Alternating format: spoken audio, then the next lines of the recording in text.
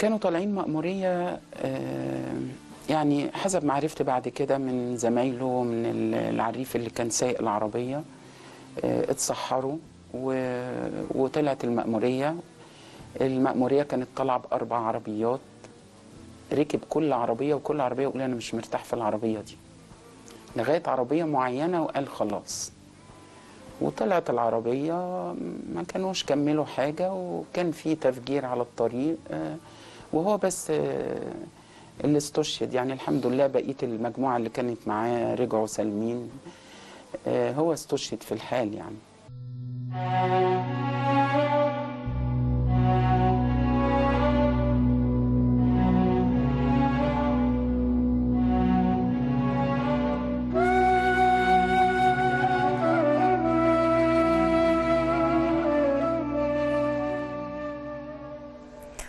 أهلا بحضراتكم مرة تانية. الحقيقة إنه القانون دايما هو الفيصل النهائي في أي آه، جريمة ودائما آه، عقوبة الإعدام للقاتل مع سبق الإصرار والترصد. الحديث آه، الآن حول هذه العقوبة والمطالبات في النظر لهذه العقوبة اللي ظهرت فجأة ويمكن تابعناها الفترة الأخيرة. أكيد أهل القانون هم اللي يقدروا إن هم يدونا المعلومات آه، والتفاصيل الخاصة بهذه العقوبة وبأن القانون به المواد التي يجب أن يتم تنفيذها يجب أن يتم تطبيقها حتى آه، تستقيم الأحوال وحتى آه، تبقى البلد في أمن وفي أمان وفي استقرار وفي سلام. برحب بضيوفي وضيوف حضراتكم برحب بالنائبة الأستاذة مارجريت عازر آه، وكيل لجنة حقوق الإنسان في البرلمان. أهلا أهلاً بحضرتك أستاذة. مارجريت وبرحب بالأستاذ آه، محمود البدوي المحامي بالنقد رئيس الجمعية المصرية لمساعدة الأحداث وحقوق الإنسان. أهلاً. أهلا بحضرتك يا فندم. برحب بالأستاذ آه، صلاح سليمان المحامي بالنقد وعضو مجلس النقابة العامة للمحامين. أهلا بحضرتك أستاذ. صلاح. أم، هبدأ يعني مع حضرتك أستاذة مارجريت كوكيل لجنة حقوق الإنسان في البرلمان. حضرتك تابعتي ال- ال- الأمور الأخيرة دي إزاي؟ والحديث عن هذه العقوبة والبت فيها والنظر فيها قريتيها إزاي؟ خلينا نتكلم على آه، عقوبة الإعدام. القانون المصري والدستور بينص على أن مصر بتطبق قانون آه، الإعدام وبالتالي لا يجوز لأي دولة التدخل في السيادة المصرية. تاني حاجة أن هؤلاء الجناة آه، في الحقيقة مش من حق أي دولة أنها تتكلم على آه، الأحكام القضائية. وخاصة النهارده يوم ما نتكلم يعني منظمات الحقوقية تتكلم على آه، آه، حقوق ال- الجاني تتكلم إن هو ما آه، آه، ما استنفذش مثلا المراحل ال- التقاضي بتاعته لكن هؤلاء استنفذوا كل مراحل التقاضي وبالتالي خدوا حقهم تماما في آه، الدفاع عن نفسهم. وأنا أعتقد إن دول كمان ناس كانوا معترفين بالجريمة ومثلوا ال- الجريمة أمام ال- النيابة العامة. تاني حاجة في الحقيقة يعني أنا اللي أنا بستعجب له. أنت بتتكلم النهارده على حقوق الجاني ما بتتكلمش ليه على حقوق حقوق المجني عليه. وهل الأحكام القضائية مسار لأن إحنا نجادل فيها؟ طبعا ده في الحقيقة تدخل سافر وأنا بعتبره إنه ليست لهم الحق اطلاقا في التدخل في أحكام القضاء لأن السلطة القضائية في الحقيقة سلطة مستقلة. ما ما بتحكمش آه، آه، جزافا لكنها بتحكم بمستندات ووقائع آه، موجودة وبتطبق قانون. يعني أنا أنا مش عارفة إيه إيه الزيطة وال- والضجه الضجة اللي معمولة من غير أي داعي يعني. طيب نشوف بقى القانون. أستاذ صلاح آه، ما هي عقوبة الإعدام؟ وكيف آه، آه، يتم القضاء آه، بها من قبل المحكمة مع معاييرها وشروطها؟ آه، سؤال رائع بجد يعني ومناسب جدا لل- لل- للبداية. بسم الله الرحمن الرحيم. عقوبة الإعدام هي عقوبة سالبة لأهم حق على الإطلاق ألا وهو الحق في الحياة. لذا أحاطها المشرع بضمانات عالية جدا. اولا لازم تنظر أمام محكمة الجنايات. أول ضمانة لابد من وجود محامي مدافع. نمرة واحد. نمرة اتنين لا يصدر الحكم إلا بإجماع الآراء. لا يصدر الحكم إلا عقب مداولة. يعني لازم يتشاوروا ويجمعوا على إصدار هذا الحكم. ثلاثة آه ال- المحكمة الجنائية لا تقضي اطلاقا إلا بالجزم واليقين وحكمها اطلاقا لا يبني على الشك والتخمين. بمعنى لابد وأن تكون قد تأكدت بما لا يدع مجال لأدنى درجات الشك. اذا الجزم واليقين بأن هذا المتهم قد ارتكب هذا الفعل. الحديث عن الاعتراف أنا بتفق جدا مع من يقول أن الاعتراف هو سيء الأدلة وليس سيد الأدلة لأن الاعتراف بمفرده لا يقيم حكم على الإطلاق. ولكن أمام محكمة ال- الجنايات أو أمام القاضي الجنائي في ما يعرف بتساند الأدلة. بمعنى إيه؟ جه سين من الناس راح قال أنا قتلت. هل باعترافه ده أحكم عليه بالإعدام؟ اطلاقا. لا. لازم يكون يمثل الجريمة. عشان أتأكد ما بين اللي قاله وإمكانية تحقيقه. يعني واحد قال أنا رحت ضربت ثلاث طلقات. كويس؟ ورحت لقيت الراجل ميت بضربة سكينة. خلاص ده ما ينفعش. كويس ثلاث طلقات والجسم اللي فيه القتيل فيه عشر طلقات. في حاجة غلط هنا لازم أتحقق منها.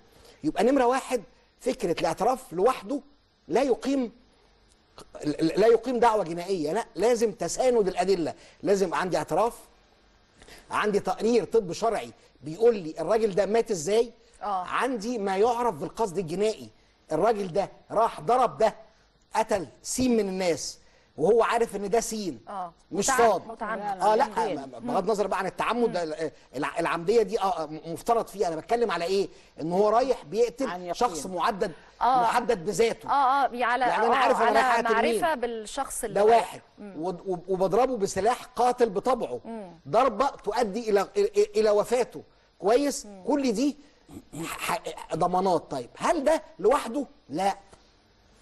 الحكم القضائي بالإعدام الذي يصدر بإجماع الآراء وبعد استشارة مفتي الجمهورية لا يطبق بمفرده ولكن على النيابة العامة وهو استثناء عن الأصل. أن تتقدم بطعن بذاتها لينظر أمام محكمة النقد. طب مين محكمة النقد بقى؟ الأول ثلاث مستشارين ما يقلش سنهم عن 55 60 سنة مستشارين في ال- محكمة الجنايات ثلاثة بيروح ال- ال- القضية ب- ب- بكاملها أمام محكمة النقد اللي هم تسع مستشارين يعني هم كريمة القضاء المصري. ال- الاعلى درجة قضائية في مصر محكمة النقد دي. كويس؟ دول بينظروا في مدى تطبيق القانون صحيح ولا لأ؟ يعني القاضي رد على كل كلمة قالها الدفاع ولا لأ؟ الحكم مشتمل على كل أسباب ال- الإدانة ولا لأ؟ يعني بينظر في القضية ككامل كقانون وغالبا أحكام الإعدام بيتم نقضها ده كل الأحكام. غالبا لا مش كلها يعني. غالبا بيتم نقضها ثم كان الأول بيتم نقض الحكم وإحالته لدايرة أخرى. زي ما حصل مع عادل حبارة. الحكم اتنقض وأعيدت إلى دايرة الجنايات اتنظر الحكم من أول وجديد. القضية كأنها لسه ما فيش حاجة خالص.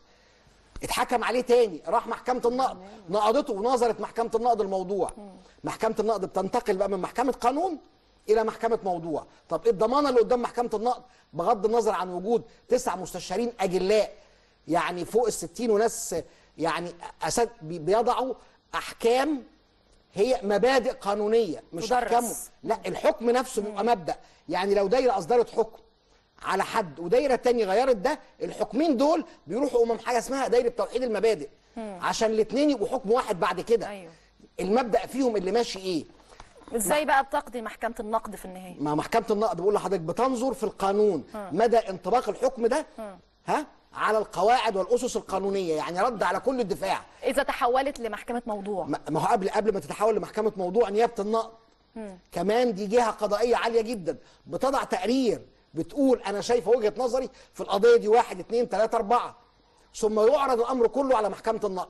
نقضت الحكم تحولت إلى إيه؟ إلى محكمة موضوع. محكمة موضوع يعني إيه؟ يعني بتحاكم الفعل نفسه من أول وجديد بنبتدي كأن مفيش حاجة حصلت كأنه لسه مقبوض عليه. تعالى قول دفاعك ودفوعك وكل اللي أنت عايزه واتكلم زي ما أنت عايز بكل الضمانات المتاحة. محكمة النقد يا جماعة. إذا ما أصدرت حكمها في هذه اللحظة أصبح حكما باتا ونهائيا وحاز حجية الأمر المقضي. في الح... في الحالة دي أصبح هذا ما, ما- ما, ما يصطلح عليه أنه أصبح الحكم حكم للحقيقة. بالأغلبية وبالاجماع لا مفيش أغلبية. بالاجماع بإجماع النقد- الآراء. في النقد. كل بإجماع الآراء. آه بإجماع الآراء. بإجماع التسعة. الآراء. كلهم. ما تمام. ي- ما ي- لو واحد فيهم قال لا ما يصدرش الحكم. لو واحد فيهم مش موافق على الإعدام ما يصدرش الحكم. لا يمكن الحكم بالإعدام إلا بإجماع الآراء.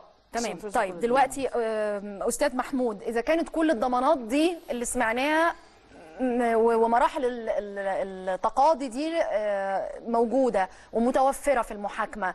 آم، كيف توجد بعض المنظمات آه، الدولية اللي يعني بتتحدث عن عقوبة الإعدام في مصر وبتهاجم؟ إزاي؟ يعني يعني ما عندهاش فكرة عن هذه المراحل؟ طيب تحياتي لحضرتك ولضيوفك الكرام وطبعا خالص تعزينا لكل شهداء الوطن اللي هم سقطوا أو قضوا في ميدان الواجب الوطني.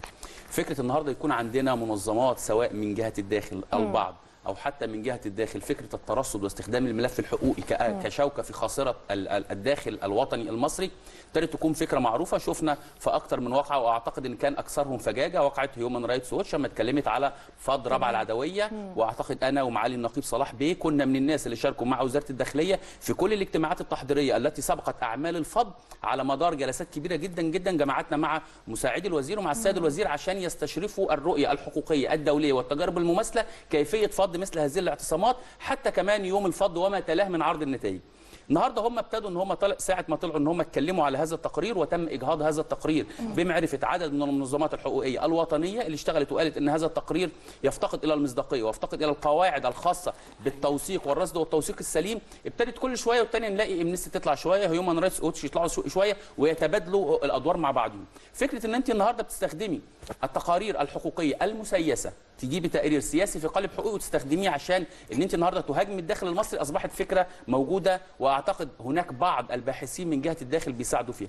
النهارده لما نلاقي مثلا إن المحاكمة اللي إحنا بنتكلم عليها النهارده في إعدام التسعة القتله اللي هم قتلوا شهيد العدالة معالي المستشار الجليل هشام بركات النائب العام. النهارده لما بنقول إن على مدار على مدار 10 شهور النيابة العامة الموقرة تحقق في القضية. ثم تحال إلى دائره المستشار حسن بفريد على مدار 10 جلسات سماع 100 متهم. على مدار 10 جلسات. النيابة العامة الموقرة في شهر 4 21 4 أظن سمعت مرافعة النيابة العامة. دفاع المتهمون تم سماعه على مدار ست جلسات. تم إدراج المتهمون على قوائم الإرهاب وراحت القضية عشان يدرجوا على قوائم الإرهاب وبعد كده طعنوا بالنقد على على حكم الإدراج على على قوائم الإرهاب وتم تأييد الحكم. وبعد كده صدر الحكم إن كان في إعدام لأكثر من شخص فيهم وبعد كده راحت المحكمة النقد والنهارده هنا كان في طرح جديد آه، اللي هو خاص بالقانون 11 لسنة 2017 اللي هو الدور الجديد بقى في تعديل قانون الإجراءات الجنائية فيما يخص إجراءات أو تعديل إجراءات الطعن أمام محكمة النقد اللي هو كان بداية سريانه 1 5 2017 إن هنا محكمة النقد تحولت عشان طول طول تحقيقات وطول إجراءات التقاضي زي ما شفنا في قضية زي قضية حبارة اللي قاعد يعني يت- يتحاكم حوالي قرابة أربع أو خمس سنين. النهارده ست سنين. النهارده معالي النقيب محكمة النقد أصبحت ترتدي قبعتين. النهاردة بتراقب حسن تطبيق القانون على وقائع الدعوة وفقا لأمر الاتهام وأمر الإحالة الصادر من النيابة العامة الموقرة تمام. وكمان بتنظر في الموضوع فأصبحت هنا محكمة النقد محكمة موضوع ومحكمة تط... محكمة تطبيق أو بتراقب حسن تطبيق القانون وكمان محكمة تمام. موضوع أستاذ محمود التضليل الدولي ده اللي أنا التضليل بتحدث عنه. الدولي والبكائية وحالة العواء وحالة ال- النباحه التي زادت في الأيام الأخيرة حوالين ال social يعني ميديا المنظمات الدولية من اللي ضمن- بتتحدث ده أكيد من على علم بالمراحل دي. Amnesty يوميها Amnesty يوميها طلعت تعوي ب- ب- ب- بأعلى الصوت وتتكلم أن هذا الحكم وأنها سب في جبين الإنسانية وجبين الح- وجبين ال- الحريات وكذا وكذا وكذا. طب وانتوا كنتوا فين؟ أما كل شهدائنا اللي سقطوا من 2013 لغاية النهارده ما شفناكمش مرة واحدة طلعتوا تدينوا أعمال الإرهاب وأعمال الشغب وأعمال حرق الكنائس وحرق المساجد واستهداف المواطنين الامنين واستهداف قوات إنفاذ القانون وكذا وكذا وكذا. نتكلم بقى على على شهداء رفح الأولى ورفح الثانية وكرم القواديس ومذبحة كرداسة وكذا وكذا وكذا. الذاكرة لا تتسع ل- لذكر كل هذا في مقامنا هذا. النهارده كل هذه الأمور أين حق كل هؤلاء الأشخاص في البيئة في إن هم يعيشوا في حياة آمنة. أنت النهارده ما سبتش لا كنيسة ولا مسجد ما سبتش مدني ولا سبت عسكري ولا سبت راجل شرطة إلا ما استهدفته أنتوا فين من كل الكلام ده؟ سامية شنن الملعونة سامية شنن اللي سقت الشهيد البطل عمرو عبد المقصود اللي سقته مية النار. أنتوا فين من الكلام ده؟ أنتوا إمتى سمعناكم إمتى اتكلمتوا عن هذه الأمور؟ النهارده جاي ما بتقول لي أنه محاكمة عادلة تم فيها الحرص على تطبيق ضمانات المعاد المحاكمة العادلة والمنصفة وفقا لأعلى درجات التقاضي وأحسن درجات التقاضي أمام قضاء أجلاء هم درة التاج في نظام القضاء المصري وطبقوا القانون بحذافيره. والنهارده أتيحت لهم كل الضمانات. بقول لك تم سماع 100 شاهد على 10 جلسات ست جلسات للدفاع. عايزين تمام. إيه تاني؟ النهارده محكمة النقض أما تصدت لهذا الأمر أهي خفضت أحكام الإعدام أظن عن ستة تقريبا بدل ما. كانوا كانوا أزيد من كده. خفضت وخفضت. وخفضت كمان الأحكام. فأنتوا النهارده بتتكلموا في إيه؟ طيب هنكمل كلامنا بعد فاصل قصير. ابقوا معنا.